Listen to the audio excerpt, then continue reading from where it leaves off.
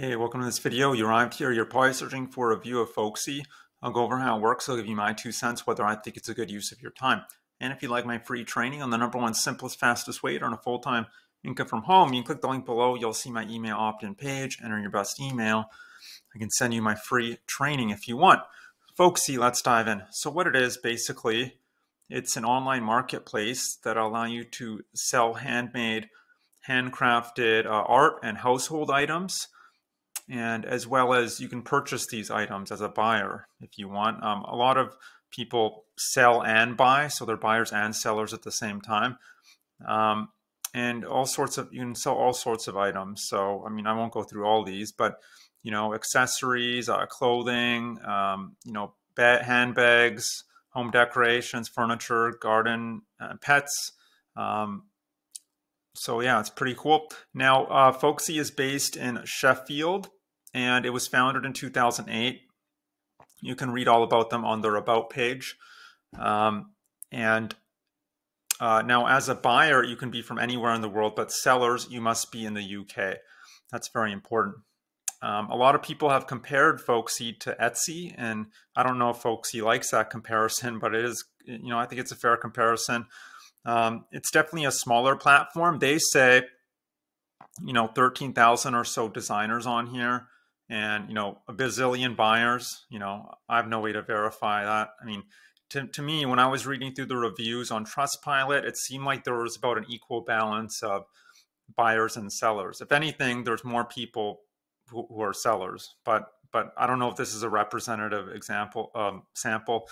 Um, but I would just go through the Trustpilot reviews um, if you want to get some of the pros and cons, and and you could also find reviews on uh, this website talk dot well talk.folksy.com. This is their forum, but um, if you read the reviews, there's oh it's overwhelmingly positive. Um, now there are pros and cons. The pros are um, people like the low fees compared to Etsy. Um, and some of the other platforms compared to Etsy and the others. Um, it's easy to get set up and navigate on here. That's another thing people like about it. The customer support is very friendly and helpful, and the and has a community feel that you don't really find on a lot of other platforms.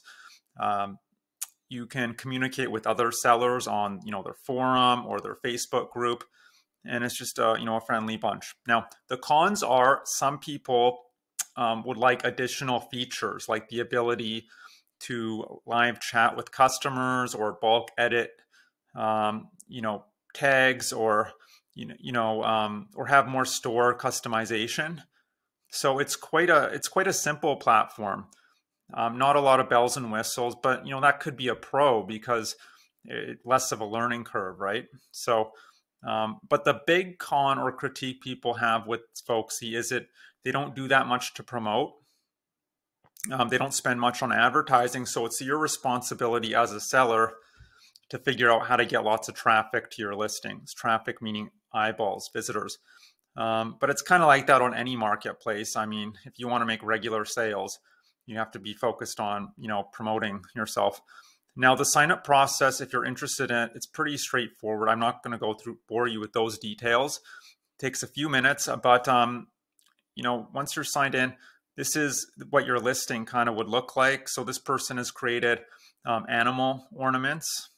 This is one of their listings, and you can go to their store, and um, and you'd have a banner up top, your your name. You could have a photo of yourself if you want, your items you're selling, and uh, and then an about about your store links to your social media accounts, and some reviews. So it is quite basic, but not a lot of distractions. So it can kind of keep your buyers focused.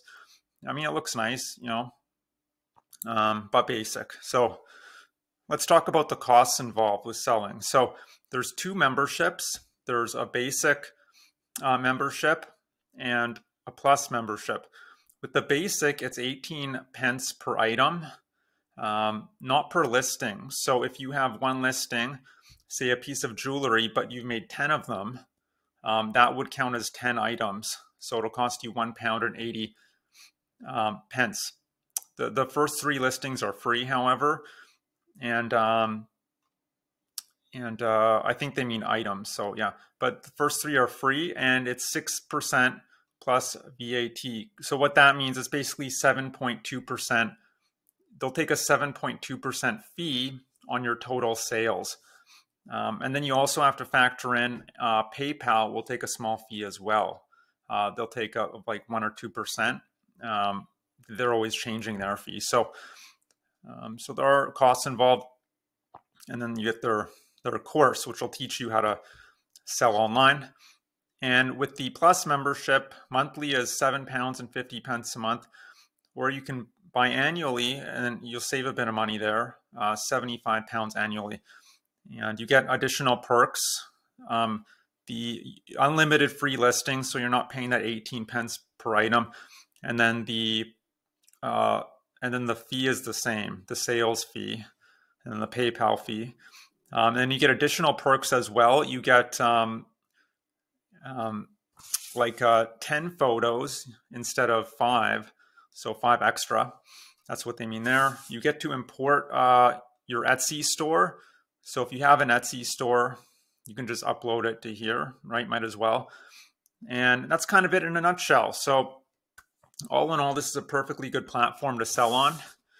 It's um, just understand selling handmade items and making a full-time living or real living at this is very difficult and very few people can pull it off um, because you aren't earning that much per sale. You know, a lot of these items, you'll see people selling them um, well, you have to factor in the cost. So you might be making 10 or $20 or pounds, pardon me, per sale. And that's not that much money. That means you're going to have to make hundreds of sales per month in order to earn a full time income, which is basically 5,000 pounds per month or more. Um, that's that's an incredibly difficult thing to do. I don't think I could do hundreds of sales a month. Very few marketers could, which is why for most sellers, it's just going to be a hobby. It'll never be a full time income or even a decent side income for most people. That's just the reality. But as long as you're okay with that, um, you can go ahead, you can check out um, Folksy. But look, maybe you're here um, not necessarily um, to make just to make handmade items. Maybe you actually want to earn a full time income or a very nice side income from the comfort of your own home. If that's what you're looking for, what I suggest is click the link below.